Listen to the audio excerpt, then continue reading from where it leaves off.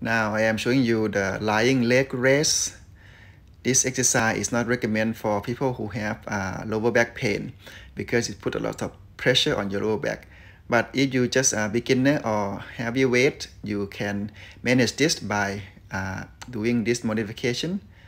Bend your knee to your chest uh, and do it halfway like so. You don't have to put your leg down to the floor. It's too heavy. So you just keep it uh, halfway to your chest, come out halfway, tuck it back. Another one to uh, modify them is to do one rep at a time. So put your feet down, raise them up to your chest, bend your knee, and then come out like so.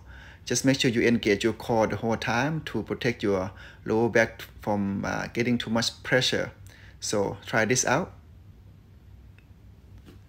Last example for this one, you can do one leg at a time. This one is quite safe for your lower back, so no pressure on your lower back at all. It's quite easy.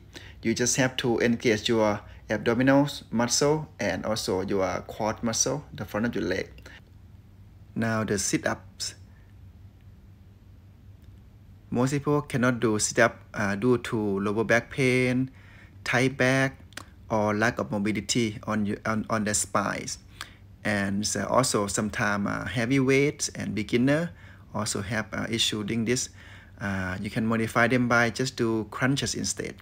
So crunches like so just make sure you activate and squeeze your abdominal muscle to get the most benefit from, from the exercise. Don't pull your neck yeah just uh, tap your hand lightly and don't pull them. Now I am showing you uh, V-ups V-ups is one of the tough exercise to do. Um, also require lots of uh, strength and mobility. Okay, so this is how you modify the V-up. You can bend your knees and raise your upper body and your arm up and raise your body off the floor only halfway. But make sure you activate or contracting your abdominal muscle to get uh, the most benefit of the exercise. Okay. Another way to do the V-ups, you can do them alternative, alternate uh, leg and arm. So one leg, opposite arm. Do it like so, like example. Lift yourself up off the floor halfway. Now I am showing you uh, side V-ups or oblique crunch.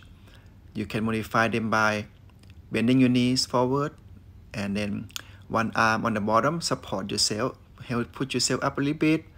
Make sure you uh, activate your oblique muscle, the side of your abs to get the most benefit, okay?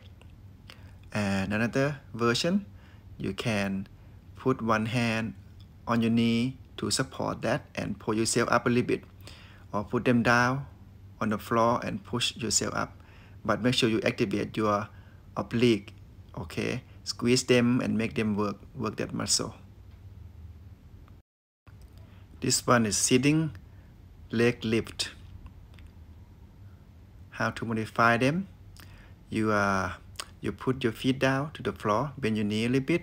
If your leg straight, it's harder, but if you bend your knees, it's easier. So you just do one rep at a time, just like example. Uh, activate your core, squeeze them, and pull your knee to your chest, okay? This one Spider-Man planked or knee to elbow. Doing this exercise on the floor is quite challenging for beginner. Uh, put a lot of weight on your shoulder and on your lower back. So you find a chair or side of your bed or a bench, something you can raise yourself above ground.